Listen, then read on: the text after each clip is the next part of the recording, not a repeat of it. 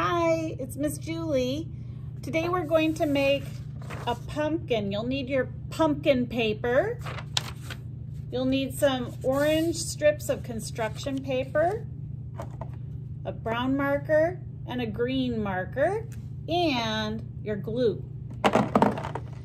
While those things are getting ready, I want to read you this book. It's called Duck and Goose Find a Pumpkin. These, this is Goose and this is Duck, and they're looking at their friend Thistle. They say, nice pumpkin, Thistle. Yes, it is, Thistle says. Goose tells Go uh, Duck, I want a pumpkin too. Let's go find one. Is our pumpkin in the log, Goose? No, not in the log. Is our pumpkin in the leaf pile? No, not in the leaf pile. Is our pumpkin up in the apple tree, Goose? No, not up in the apple tree. There's just apples. Is our pumpkin in the water, Duck? No, not in the water. Is our pumpkin at the top of the stump? No, it's just an acorn. You sure do know how to find a pumpkin. Yes, we do. They found a pumpkin in the pumpkin patch. Look, there's pumpkins everywhere at the pumpkin patch. Maybe you have a pumpkin at your house. Maybe you went to a pumpkin patch or maybe you went to the grocery store. There's lots of ways you can get a pumpkin. But today you're going to make a pumpkin. So the first thing that we're going to do is color the stem. And we're not gonna spend a long time coloring the stem, so that's why we're gonna use a marker. So I'm gonna color the stem brown. There's my brown stem. And I have a green pen to color the leaves. Sometimes pumpkins still have leaves on them when you get them at the pumpkin patch. But if you get them at the grocery store, they'll probably just have a stem. Okay. I colored my leaves and my stem. I think this is part of the vine. I'll just add a little green to my vine. Now comes the fun part. This is the part that I get excited about because it's how I'm going to make my pumpkin orange.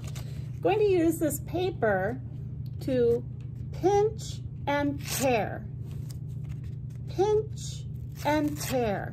And um, sometimes if it's hard to tear, a grown-up will make little tiny starter tears like this so that it's easy to start tearing. I pinch and tear pinch and tear, pinch and tear, pinch and tear, pinch and tear.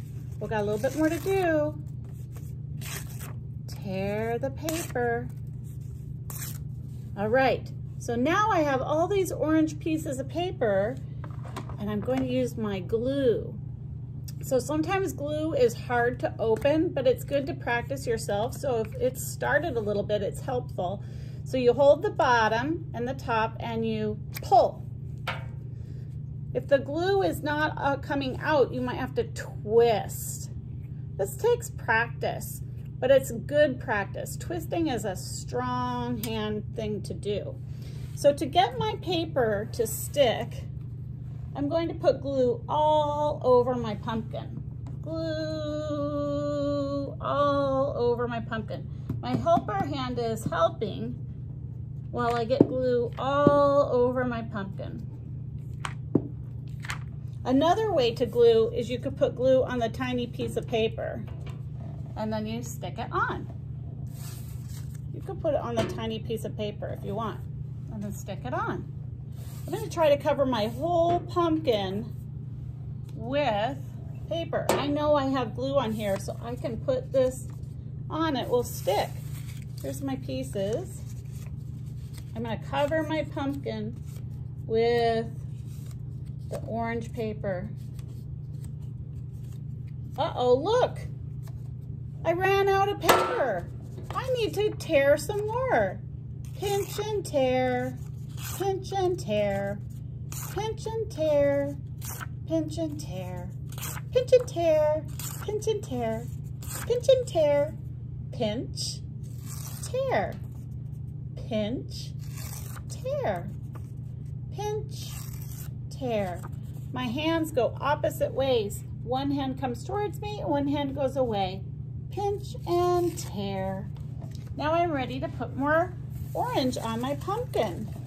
I hope the glue is still sticky. Sometimes it dries. I think it's gonna work. I like the way my pumpkin is turning out.